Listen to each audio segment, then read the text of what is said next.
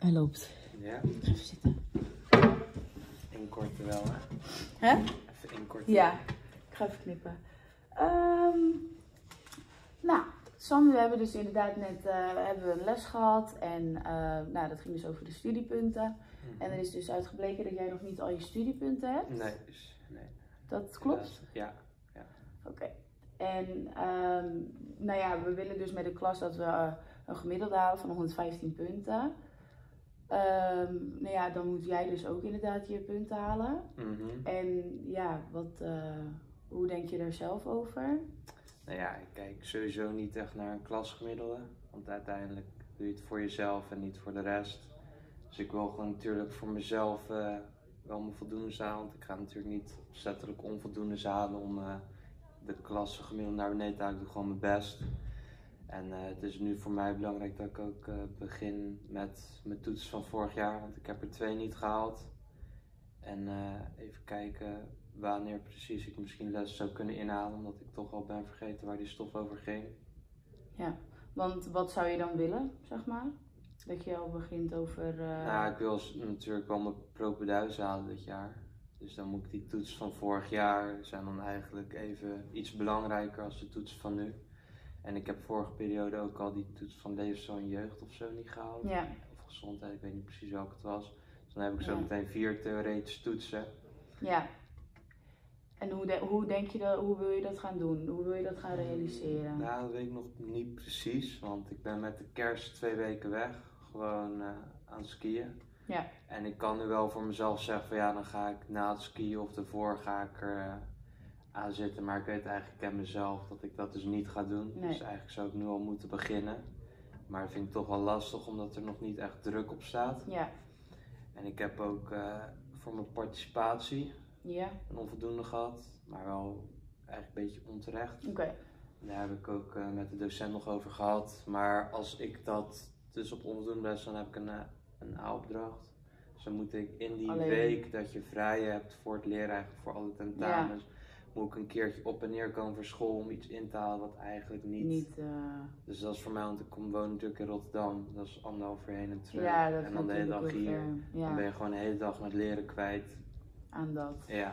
Dus er zijn inderdaad momenten dat je al weet van dan kan ik er geen of weinig tijd aan besteden. Ja. En, maar hoe denk je dat dan te gaan doen? Wat zou je planning kunnen zijn? Eh, nou ja, ik heb nu dus, ik wist het zelf ook wel, maar gehoord bij SLB dat het belangrijk is om eigenlijk elke dag een half uurtje te doen Ja. in plaats van alles in de laatste paar weken. Dus ik moet nu inderdaad gewoon de momentjes vinden van een eh, half uurtje werken per dag. En dan zei die van ja, je kan het in de trein doen, maar als ik om, wat is het, 7 uur 's ochtends in de trein ja, zit, dan is dat ook niet. ga ik eh, niet een boek erbij pakken prettig. en kunnen lezen. Dat, die focus heb ik dan Nee. gewoon nog niet. En dan zegt hij ja, voor het eten of na het eten kan het misschien, maar ja, na het eten train ik altijd. En voor het eten ben je eigenlijk net thuis van school. Dus je komt niet na een rit van Nee. anderhalf uur, ga je niet meteen aan school zitten. Dus dan wordt het weer avondwerk en dan denk je toch ook weer van ja, ik ben moe, ik wil slapen. Dus dan En op welke dagen zou jij het dan bijvoorbeeld wel prettig vinden? Heb je genoeg tijd om te kunnen leren? Ja, de dagen dat je natuurlijk vrij bent. Dus nu zijn we bijvoorbeeld een woensdag en een donderdag vrij. Dan loop ik al stage, maar dan zou het in de ochtend kunnen. Maar je hebt natuurlijk ook projecten Ja, en andere fitheid, bad, et cetera. Daar moet ook aan gewerkt worden. En dat is ook heel veel werk. Dus dan vind en dat, die deadlines liggen dichterbij. Dus dat vind ik dan prioriteiten. En dan komen die toetsen eigenlijk eh, best wel snel dichtbij. ja. En is er misschien iemand die je daarbij kan helpen? Of is dat echt, of heb je dat liever niet? Met de toetsen, Ja, met het leren of het plannen. ja, ik leer vaak met Pip. Oké. Dat is ook Rotterdam Ja. woont. Dus ja. Dus dat werkt wel goed, vind jij, samen met Pip? eh, Eh, ja, soms wel, soms ook eh, niet. Ik heb niet echt een lang concentratievermogen. Dus vaak zaten we dan in de biep, maar dan ging ik eerder naar huis omdat ik gewoon wist klaar. Ja. ja.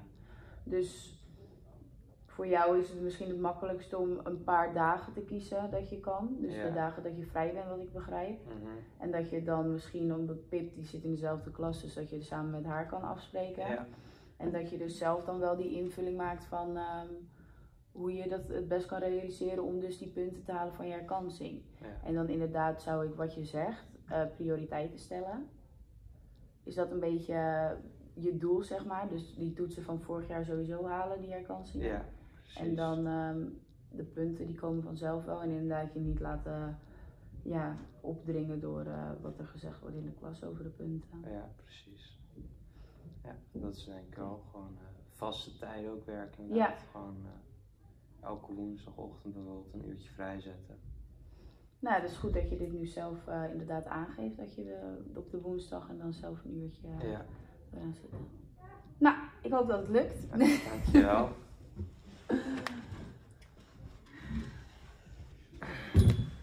Jij doet